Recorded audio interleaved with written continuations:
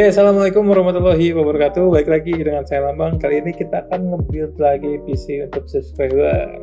Oke, di build kali ini kita bakalan pakai casing dari Fractal. Ini adalah Fractal Terra ya.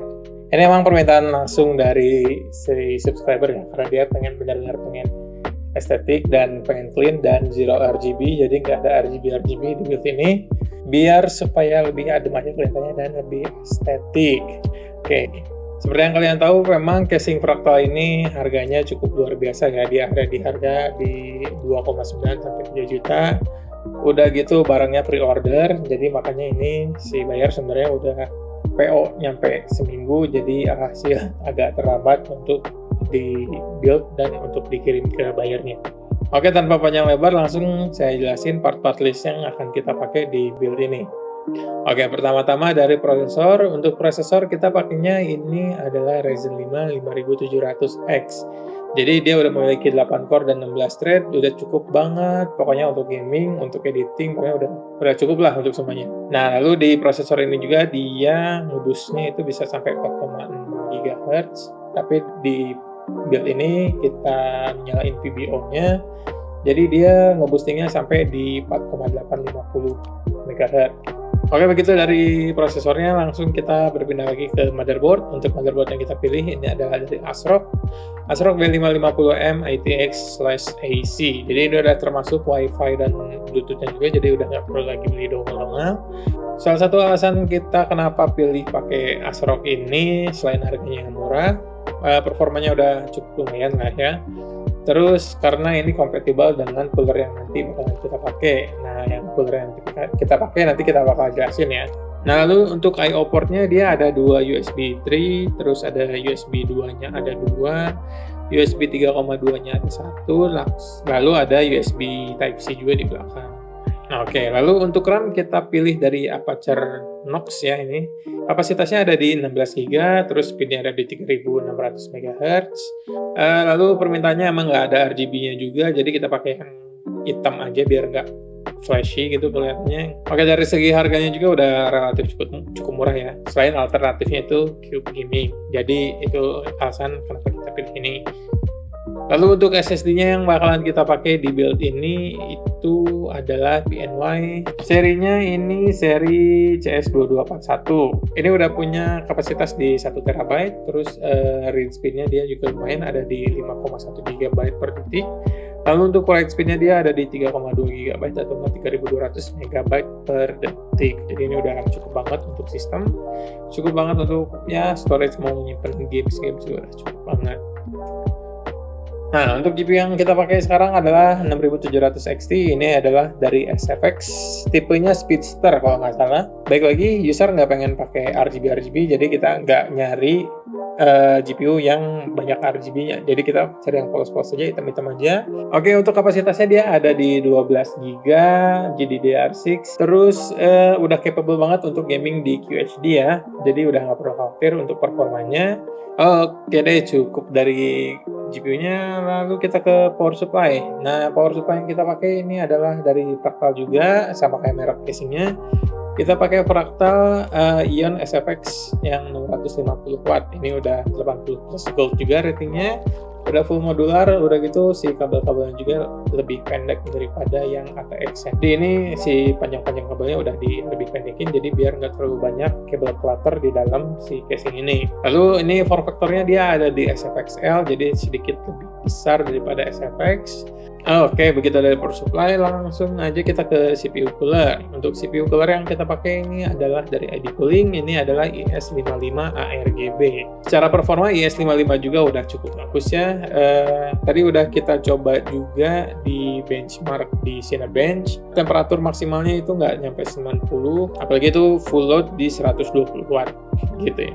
Untuk 120 watt ini udah bagus banget sih untuk cooler sekecil ini dan se low profile ini. Oke, sekarang terakhir kita ngebahas tentang casingnya. Ini adalah Fractal Terra. Kalau kalian bisa ngecek harganya di Tokopedia atau di Shopee atau di Marketplace. Ini hadiah harganya ada di sekitaran 2,9 sampai 3 juta. Jadi jangan kaget kalau harganya mahal karena emang build quality-nya juga bagus ya. Jadi ini full panelnya ini udah aluminium jadi ini kali ini pakai sandwich style ya. Jadi satu sisi untuk GPU, satu sisi untuk motherboard. Jadi lebih optimal untuk ke uh, spacingnya.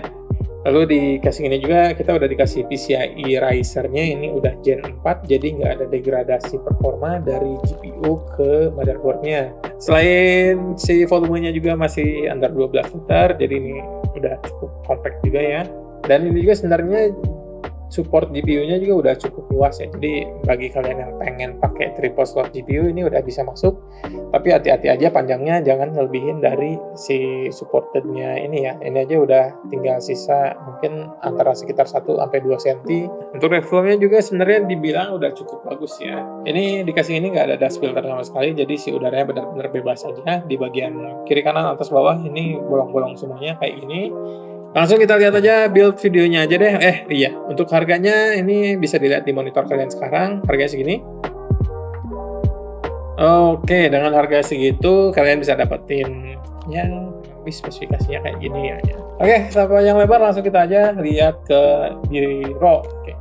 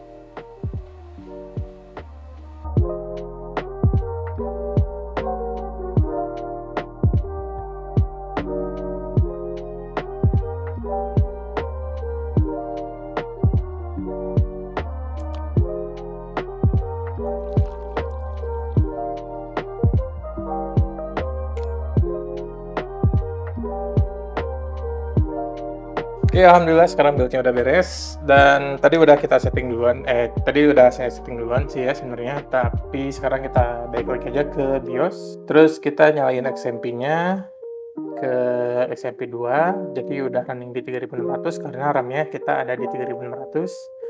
Lalu untuk MD overclocking-nya kita pakainya PBO. PBO-nya kita di advance, limitnya kita di motherboard. Jadi biar nggak limitnya masih tetap aman untuk di motherboard untuk overclocknya. Skalernya kita di auto aja. Curve optimizernya kita pakai di negatif jadi ini maksudnya buat di underfold. Nah ini maksimalnya dia di 30 jadi ini udah nilai maksimal. Uh, untuk override ini jadi buat overclocknya jadi dari base clock dia dia bisa naik 200 MHz ini kan nih kita nyalain di 200 sudah maksimalnya di 200 oke sama kita nyalain throttle limitnya di 90 jadi biar nggak ngelebihin dari 90 jadi begitu dia kena di 90 derajat langsung ngedown clock biar supaya chipnya lebih aman. Gitu. Oke kita udah buka Cinebench dan udah di dalam desktop ya. Ini kita langsung tes aja si PBO nya jalan atau enggak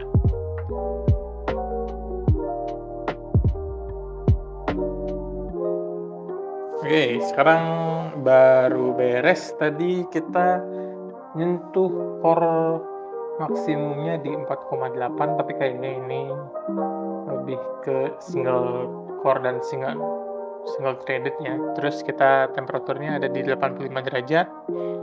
Which is agak panas ya sebenarnya, tapi ini kan mengingat lagi ini buildnya mini ITX dan sebenarnya coolernya udah cukup bagus sih. Tapi kita settingnya di standar mode ya untuk fan curve-nya.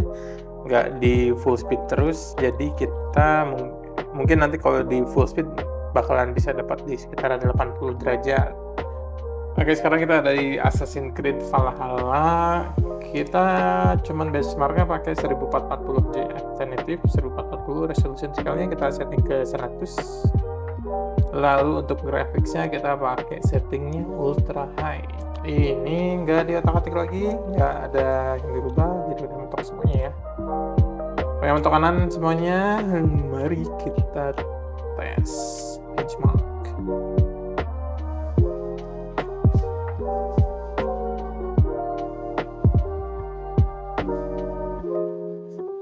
Kita dapat average-nya di 88, minimalnya 41, maksimalnya di 231, low, low 1 persennya ada di 70, zero one persennya ada di 5 eh 56 jadi ini udah playable banget. Ini kita setting QHD dan native resolution. Nah sekarang kita udah masuk lagi ke benchmark. Kita pakai settingnya di 1440 masih tetap di QHD tapi kita nyalain FSR nya di quality. Seperti yang kalian bisa lihat ini FPS nya udah bisa udah tumpah-tumpah ya. Untuk main game di 60 fps plus ini udah bisa banget Oke, bisa dilihat average-nya jauh banget ya. Kita naik ke angka 100, ini ada di 102, minimalnya di 73, maksimumnya di 143. Masih tetap sama di QHD, tapi kita pakai quality. FSR yang quality. Ya, sekarang kita udah di in-game di Spider-Man ya. Kita pakai settingnya tadi, kita pakai settingnya di full screen QHD. Fishingnya udah kita offin, makanya kita lebih dari 100, lebih dari 60 upscale metode kita off dynamic, dynamic resolution ini juga kita offin. Anti aliasingnya kita pakai temporal anti aliasing terus presetnya kita pakai very high. Seperti yang bisa dilihat ya untuk QHD di very high ini udah capable sekali bisa nyampe 100 frame per second jadi masih aman lah ya untuk gaming di QHD untuk di kota sih kurang lebih dapatnya 90-an ya 90 100 lah kalau lagi nge-swing-swing kalau misalkan kita ngeliat ke atas ini dapatnya kayak 140 jauh banget ya sama misalkan kalau kita di bawah di bawah nah kalau di bawah biasanya di sekitar 90-an So, jadi gimana? Kalian udah lihat hasilnya? Udah hasil lihat si montage build-nya juga, birol-birolnya, ya kecil-kecilan SMR dikit. Lalu tadi kita ngetes games, tapi kita cuma tes 3 games karena waktunya terbatas juga. Untuk kalian yang pengen melihat full benchmark dari sistem ini, maksudnya sistem yang mirip dengan ini, 5700X dan 5700 XT. Bisa dilihat di sini, kalau di sini, ya di antara inilah di antara ini berdua itu build NR 200 yang pertama itu speknya kurang lebih sama kayak gini ya untuk performanya ya kurang lebih sama juga sih kayak gini oke sekian dari build kali ini subscriber build kali ini semoga subscriber saya senang dengan hasil buildnya dan semoga puas dan semoga aman nyampe ke tangan subscriber oke deh kalau kayak gitu Airul Kalam, nama saya Lambang. Assalamualaikum warahmatullahi wabarakatuh.